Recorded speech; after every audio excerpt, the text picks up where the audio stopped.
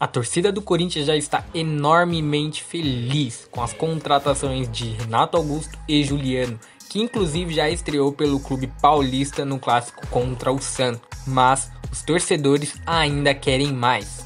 Os alvinegros demonstram grande ansiedade pela conclusão da situação de Roger Guedes. O Corinthians se mantém esperançoso, confiante e paciente, aguardando a resolução do futuro do atacante, candidato a terceiro reforço da temporada, com um contrato com Shandong Taishan até julho de 2022 e sem voltar para o país desde dezembro por conta da pandemia. O jogador aguarda em Criciúma, Santa Catarina, as negociações do empresário Paulo Pitombeira e do advogado Breno Tanuri com os dirigentes chineses. Aos 24 anos, Roger Guedes é visto pelo clube chinês como um jogador importante em seu elenco. O Shandong ainda tem esperança de poder contar com ele neste ano na equipe, em caso de reabertura das fronteiras.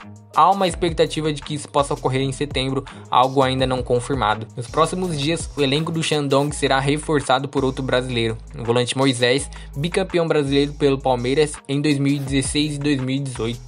O jogador está no clube desde julho de 2019, mas também ficou por oito meses sem jogar por conta da pandemia. Após muito esforço, o meio-campista conseguiu retornar para a China, sendo obrigado a realizar uma quarentena de 21 dias, 14 deles em total isolamento no hotel. No caso de Roger Guedes, não há um prazo previsto pelos empresários para a conclusão das negociações pela quebra de contrato. Há, porém, otimismo sobre a chance de permanência no Brasil.